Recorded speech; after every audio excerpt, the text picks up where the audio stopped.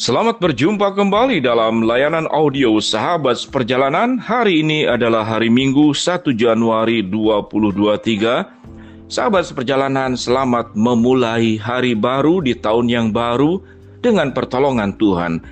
Tema daripada renungan kita dengan judul Positif dan Optimis. Positif dan Optimis. Firman Tuhan terambil dalam Mazmur pasal yang ke-65 ayat 11 sampai dengan ke-12.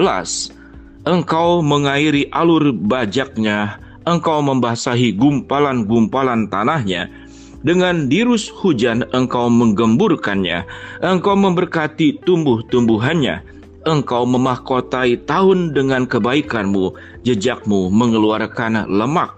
Mari kita berdoa.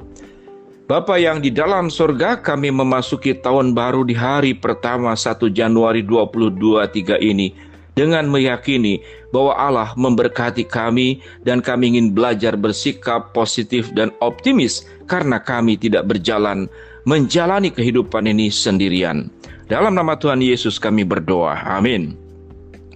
Shalom sahabat seperjalanan yang dikasih Tuhan, positif dan optimis memulai tahun baru ini. Kalau berbicara tentang positif dan itu adalah lambang tambah di dalam akunting, maka berarti masih ada saldo lebih dan bukan saldo minus. Kalau optimis berarti melihat semua keadaan apa pun yang terjadi di depan kita, baik yang buruk, baik yang baik dengan segala dinamikanya, kita mempercayai bahwa kita akan sanggup untuk menjalaninya, kita sanggup menghadapinya dan kita semua sahabat seperjalanan sanggup untuk melewatinya. Maka kedua sikap ini adalah sangat penting, yaitu positif dan optimis. Allah tidak pernah membiarkan saldo kehidupan kita itu mengalami kekurangan. Kalau diizinkan terjadi berbagai macam hal, maka Tuhan akan memberikan dan mengembalikan apa yang menjadi hak kita. Bacaan dalam Mazmur pasal 65 adalah sering kali dipakai untuk memulai awal kehidupan di tahun baru ini. Gambaran daripada kehidupan ini adalah berbicara tentang tanah yang subur, berbicara tentang air hujan yang cukup, berbicara tentang matahari yang bersinar, dan berbicara tentang tanaman dan tumbuhan yang kita tanam. Ternak yang kita gembalakan itu menghasilkan pada waktunya.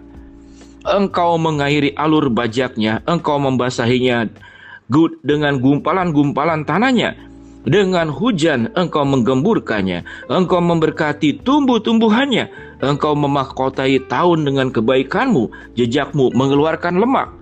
Pada ayat 13 sampai 14, tanah-tanah padang gurun menitik, bukit-bukit berikat pinggangkan sorak-sorai, padang-padang rumput berpakaian kawanan kambing domba, lembah-lembah berselimutkan gandum, semuanya bersorak-sorak dan bernyanyi-nyanyi.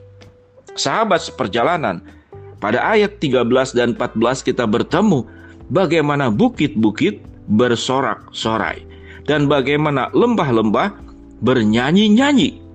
Kambing domba dikatakan bernyanyi-nyanyi, bersorak-sorai.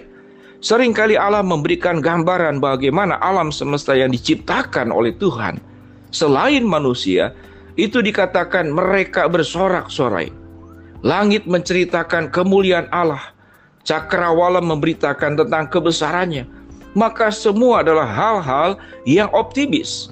Sahabat perjalanan yang dikasih Tuhan, mari kita belajar untuk melihat seluruh alam ciptaan yang ada di dalam dunia ini.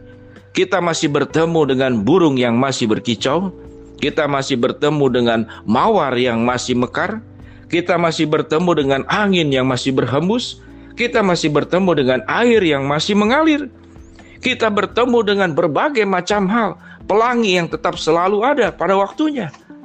Kalau kemudian kita merasa hidup ini menjadi negatif dan pesimis, maka sesungguhnya kita sedang mematikan kehidupan, bukan karena keadaan yang mematikan, namun karena pikiran dan perasaan kita yang tidak memiliki sebuah sikap yang positif dan bagaimana menghadapi hidup ini secara positif dan optimis. Sahabat perjalanan, kalau hujan tetap ada, kita tahu hujan pun akan berhenti. Kalau badai tetap ada, kita tahu badai pun juga akan tetap berhenti. Kalau kesusahan itu tetap ada, dan menimpa sahabat seperjalanan. Maka belajar dari pengalaman hidup sebelum yang kita sudah lalui di tahun yang lalu dan kehidupan sebelumnya. Bagaimana sewaktu kita jatuh kita sanggup bangkit kembali. Sewaktu kita sakit Tuhan sembuhkan kembali. Sewaktu kita terpuruk dan terseok-seok Tuhan angkat kembali. Karena firman-Nya berkata, kalaupun engkau jatuh, engkau tidak akan sampai tergeletak. Tuhan akan memberi kekuatan demi kekuatan. Tuhan akan memberi sepasang sayap burung Raja Wali agar kehidupan sahabat seperjalanan tatkala menghadapi badai, engkau bukan terpuruk ke bawah, namun engkau akan terbang semakin tinggi. Sahabat seperjalanan, iman bukanlah halusinasi. Iman bukanlah sebuah keyakinan kosong yang hanya berdiri sendiri sebagai sebuah keyakinan namun tidak pernah terbukti. Iman adalah sebuah keyakinan kepada Allah yang akan membuktikan janjinya, kepada Allah yang akan membuktikan kasih setiap pemeliharanya, kepada Allah yang tidak pernah mengangkat dan mencabut kembali perkataannya bahwa aku sekali-kali tidak akan membiarkan engkau dan aku sekali-kali tidak akan meninggalkan engkau. Itu kebenaran firman Allah. Dalam Mazmur 23, pada saat engkau melewati lembah kekelaman sekalipun, aku ada di sana. Gadaku dan tongkatku, itulah yang akan menghibur dirimu. Tuhan akan membawa engkau bukan ke padang yang kering, namun ke padang rumput yang hijau. Tuhan akan membawa engkau bukan ke sungai yang tanpa air, namun sungai yang selalu mengalir.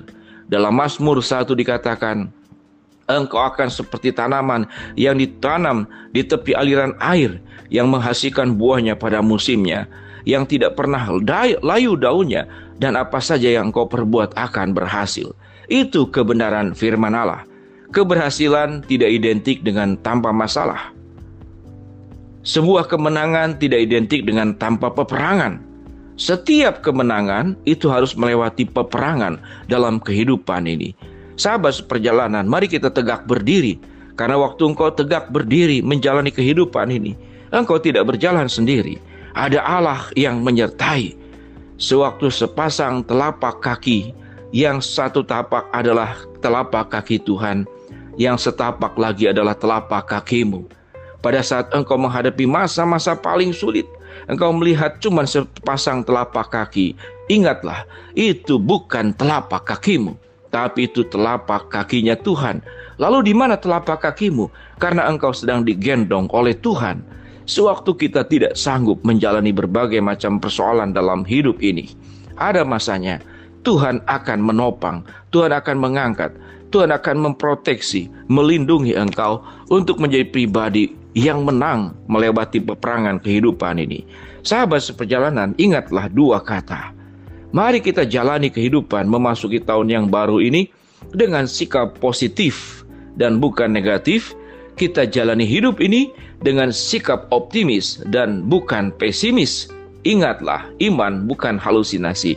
Iman adalah sebuah kenyataan yang akan dibuktikan oleh Allah bahwa Dia akan menolong dan penjamin hidupmu, penguat hidupmu dari sekarang sampai kepada kekekalan. Mari kita berdoa. Bapa dalam surga, biarlah kami menjalani kehidupan ini dengan iman yang penuh dengan semangat, hidup penuh dengan optimis dan sikap yang positif. Hambamu berdoa untuk setiap sahabat seperjalanan memulai tahun yang baru ini dengan mempercayakan seluruh kehidupan bersama dengan Tuhan. Yang sakit Tuhan sembuhkan, yang sedang menghadapi masalah Tuhan bukakan jalan, yang sedang berdoa, mengharapkan sesuatu, Tuhan kabulkan dengan cara dan waktumu yang ajaib. Dalam nama Tuhan Yesus kami berdoa. Amin. Shalom sahabat seperjalanan seperjalanan jalan hidup di tahun 2023 dengan sikap positif dan optimis bersama dengan Tuhan engkau akan sanggup melewatinya. Shalom.